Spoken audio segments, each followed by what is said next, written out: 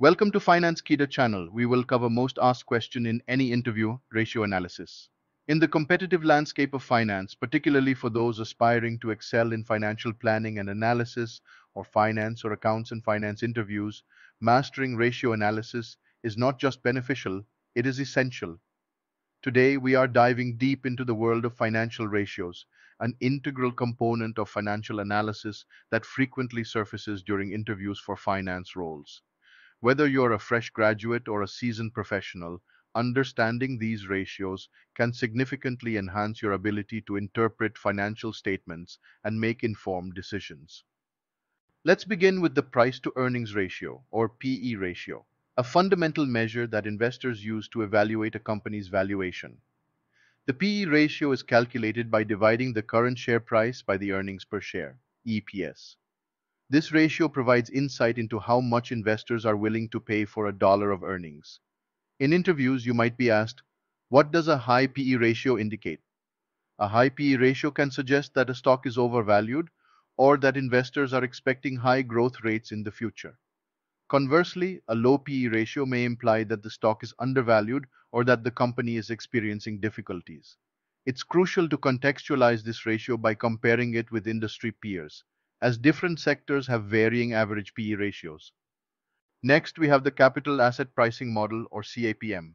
This model helps us understand the relationship between systematic risk and expected return, making it a vital tool for finance professionals.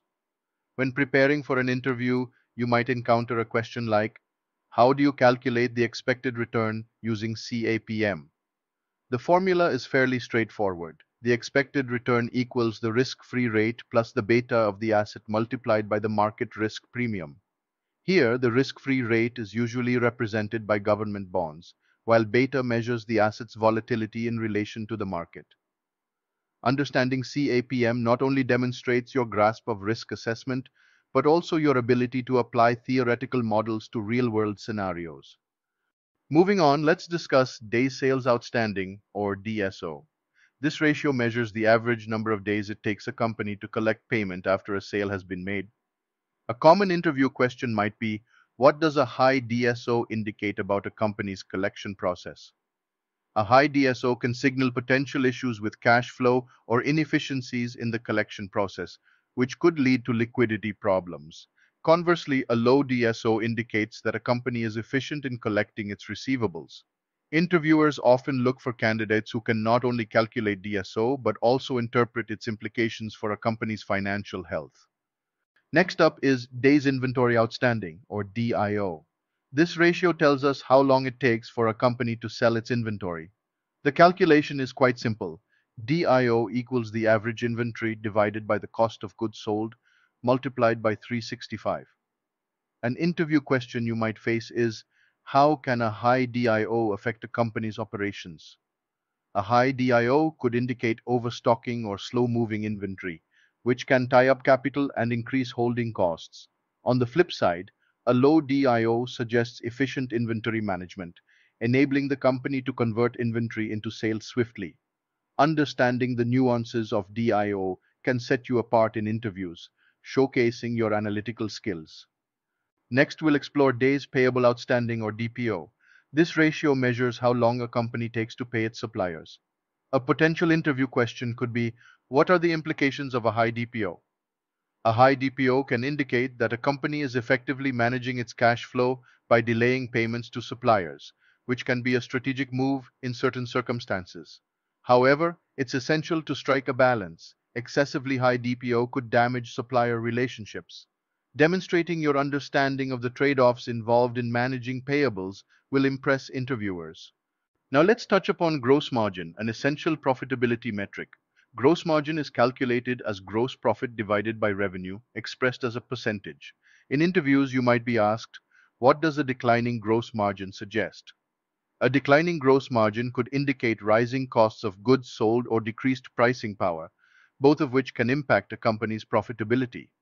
Conversely, an increasing gross margin can signal improved efficiency or a stronger competitive position.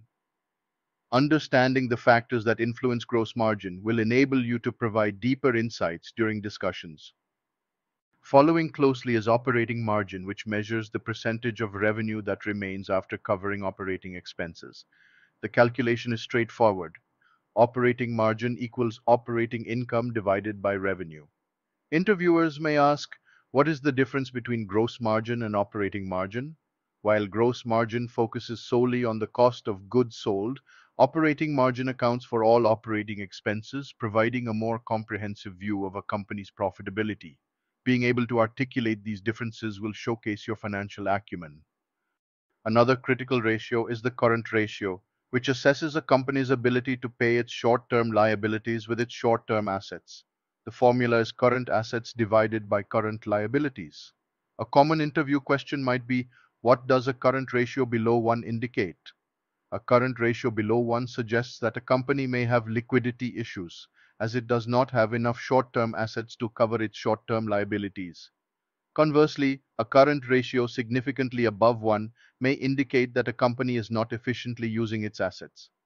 Balancing liquidity and efficiency is key, and discussing this balance can demonstrate your strategic thinking. We cannot overlook the quick ratio, often referred to as the acid test ratio. This ratio is a more stringent measure of liquidity as it excludes inventory from current assets. The formula is current assets inventory divided by current liabilities. An interview question you might encounter is, why is the quick ratio considered a more conservative measure of liquidity? The quick ratio provides a clearer picture of a company's ability to meet its short-term obligations without relying on the sale of inventory, which may not be easily liquidated. This understanding can prove invaluable in interviews, particularly for roles focused on risk management. Let's also discuss return on equity or ROE, which measures a corporation's profitability by revealing how much profit a company generates with the money shareholders have invested. The formula is net income divided by shareholders' equity. Interviewers may ask, what does a high ROE indicate? A high ROE suggests that a company is effectively using its equity base to generate profits. However, it's essential to consider the context, as a high ROE can also result from high financial leverage, which increases risk. Being able to analyze ROE in conjunction with other financial metrics will demonstrate your comprehensive understanding of corporate finance. Now let's shift our focus to return on assets or ROA, this ratio indicates how efficiently a company uses its assets to generate earnings. The calculation is net income divided by total assets. An interview question you might face is, what does a low ROA suggest? A low ROA could indicate inefficiencies in asset utilization, which can be a red flag for potential investors. Conversely, a high ROA signifies effective management of assets. Discussing ROA in relation to industry benchmarks can further highlight your analytical capabilities. As we continue our exploration of financial ratios, let's examine the debt to equity ratio, which compares a company's total liabilities to its shareholder equity. The formula is total debt divided by total equity. A common interview question could be, what does a high debt to equity ratio imply? A high ratio suggests that a company is heavily reliant on debt financing which can increase financial risk. However, in certain industries, a higher debt-to-equity ratio may be acceptable due to stable cash flows. Discussing the implications of this ratio in the context of industry standards will reflect your nuanced understanding of corporate finance. Next, we have the interest coverage ratio, which measures a company's ability to pay interest on its outstanding debt. The formula is earnings before interest and taxes, EBIT, divided by interest expenses. Interviewers may ask, what does a low interest coverage ratio indicate? A low ratio can suggest potential difficulties in meeting interest obligations, which could lead to financial distress. Conversely, a high ratio indicates that a company is comfortably able to cover its interest expenses. Understanding the significance of this ratio in assessing a company's financial health will be a key asset in your interview preparation. As we wrap up our discussion on financial ratios, it's essential to remember that these metrics do not exist in isolation. They are interconnected, and understanding their relationships can provide deeper insights into a company's financial health.